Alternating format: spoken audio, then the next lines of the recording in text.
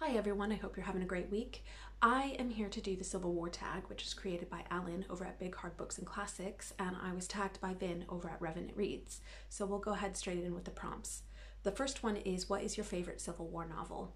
So um, I don't tend to read a lot of fiction in relation to the Civil War, um, but one that I did read recently, and this seems to be a favorite uh, of a lot of people that I have seen do this tag, um, is Stephen Crane's The Red Badge of Courage. And if you're not familiar, it's about a young man who feels like he has to prove himself um, to himself and to others. And the only way that he can do that and earn honor um, and glory is by going off to war and returning wounded um, so he can say that he fought bravely and courageously. Um, it seemed less about, you know, choosing sides or fight, fighting for a cause, but more about that honor and glory. And as he quickly finds out, um, war is horrifying, terrifying, and and gruesome. And um, you know, it's not as rosy as he pictured. Um, but yeah. One of the books that I do plan on reading, and this isn't a part of the prompt, but I'm going to throw it in anyways. Um, the one that I want to read, uh, probably in January, is actually in alternative history and it is Ward Moore's uh, Bring the Jubilee. Um, and this is basically a book about what would have happened. Uh, it, it's a look at what would have happened if the South had actually won the Civil War. So I'm quite uh, keen on reading that. It, it almost feels a bit, or it sounds a bit like Philip Dick's The Man in the High Castle, um, which is what would have happened if the Axis powers had won and partitioned America. Um, but yeah, it very much gave me um, Man in the High Castle vibes, so I do really want to read that. But, anyways, moving on to the next prompt. Um, number two, what is your favorite Civil War nonfiction? Um, so, if you know me, uh, my wheelhouse is very much prehistory and medieval history. I don't tend to read a lot of nonfiction um, that is more recent. However, I do occasionally like to read the odd biography on um, Civil War um, figures. And one of the ones that I read recently was a biography on Abraham Lincoln called Rise to Greatness. And I should have come more prepared, but the author's name, I believe, is David von Drehle. Um, and this is just a look at Abraham's, um, just a couple of years while he was in office, just before he came to office, and then I think just shortly before um, Gettysburg. And what I liked about this, while it's well known that Abraham Lincoln was prone to depression, there was a lot of tragedy in his life with his, you know, his sons passing away. Um, one before he came into office, one who passed away while he was in office. Um, you know, the the relationship that he had with Mary Todd Lincoln. Um, all of these factors it almost seemed like and and the fact that he you know he's a country bumpkin lawyer um, from the midwest. So you know it almost seemed like he had absolutely no business uniting the country and um, being the leader that he was. Um, so it's it's really a look at all of these factors and his psyche um, and just the the crap that he had to deal with while he was in office. It almost seemed like McClellan McClellan was at, you know actively trying to prevent the Union from succeeding. um, you know, just all of these things that he had to deal with on top of all of the personal stuff that he was going through. Um, but what you know the the the unifying um, characteristics of his personality that actually um, made him such a brilliant leader and um, able to not always not necessarily um, just compromise um, but look for solutions. Um, so i really did enjoy this book for that reason. Um, so yes moving on to the next prompt. Um, what state do you live in? So i don't live in the states anymore. Um, i am based in the uk however i am from the state of maryland which i mean in terms of civil war history maryland was in the thick of it I think the perception of Maryland um, that is held by both Marylanders and non Marylanders today is very different of what it was in the past or very recently in the past actually and and the perception that I'm talking about is whether or not Maryland is a southern state or if it's a northern state. A lot of Marylanders today will say that it's a mid-Atlantic state and I think neo-locality has a lot to do with this. A lot of people move into the state um, for um, you know particular set of jobs, particularly around the Washington D.C. area. Um, but it wasn't until very recently that this idea has formed. Um, Maryland historically was viewed as a southern state. Marylanders view that viewed themselves culturally as southerners.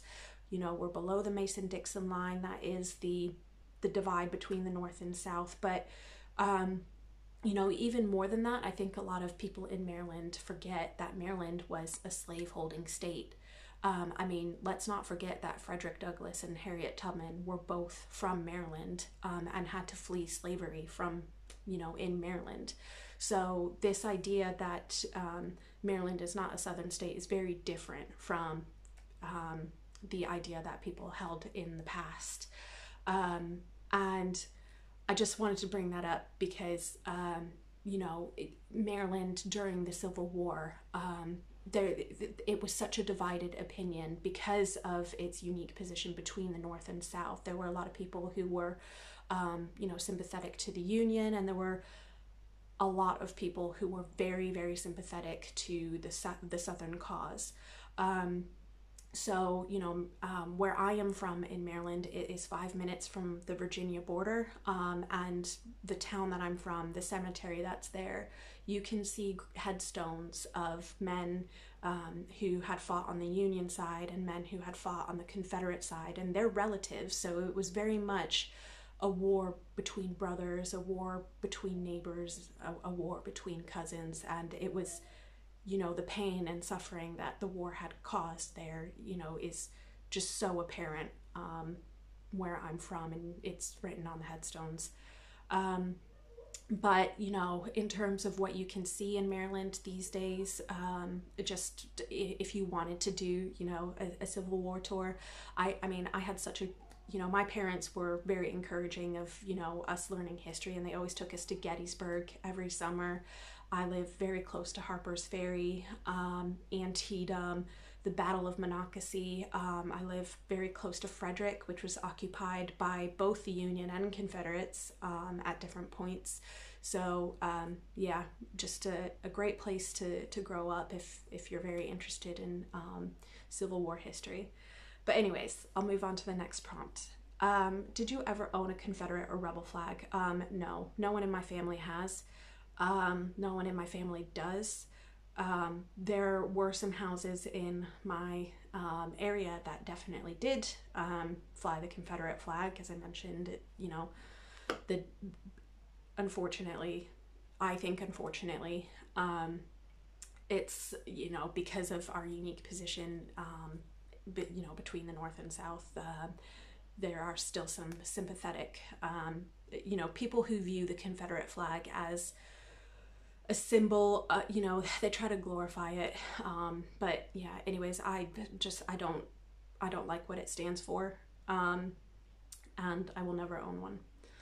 Um, number five how do you feel about confederate state memorabilia? And i think this is in relation to statues. Um, i don't think they deserve any place in um, public spaces. I do think that they need to be removed. Um, while I do appreciate that they are part of a particular place's history, um, the you know the the definition of a statue, the, the whole purpose of a statue is to glorify or memorialize a figure. And if we keep these statues of Confederate soldiers in public spaces, then the what we're saying is that um, you know we are glorifying or um, honoring what they have done. And I don't think those ideas have any place in a progressive society. Um, so, yeah, I don't think that they should be destroyed. Again, I am an archaeologist and I think objects are very important tools for learning history. Um, I do think that it would be much better if they were moved to museums where um, that where they teach um, people about the Civil War and very recent history um, and you know where there's that particular narrative of um, uh, unfortunately just how how long it's taken or is taking to really um, get over the Civil War. Um, is but yeah. Anyways, I'll move on to the next question before I babble on. Um, how do you feel about the renaming of ships and military bases uh, named after Confederate generals? Again, um, these places are named after Confederate generals or were to glorify or honor them. Um, and I do believe that it would be much better if they were renamed. Um, I don't think that um, history should be rewritten. I don't think that um, by renaming these places that we are forgetting history. Again, I think it's very important to keep in mind where we come from and how we got here. But I think by keeping um, the names as they are, um, we're sending a very clear message, um, particularly to the Black community, that um, you know it it just it doesn't make sense if as i say for living in a progressive society if um, we we keep those names. Some people might have very differing opinions from me um, and i would be very interested in hearing your opinions um, uh, you know, if you want to have a very polite discussion in the comments uh, section uh, down below, we can have a very respectful uh, discussion. Uh, but I'd be very interested in hearing what you all have to say. Um, so I do encourage you to do this tag. And if you're not from the United States of America, I think some of these questions um, while they are very U- US specific, I think you can tailor them to your own country if you want to share your thoughts and opinions about a civil war that has happened in your own country. So I encourage anyone to do this tag. Um, but, anyways, these are the answers to the Civil War tag. Um, thank you, Allen, for creating this, and thank you, Vin, for tagging me. Um, but until next time, BookTube, bye.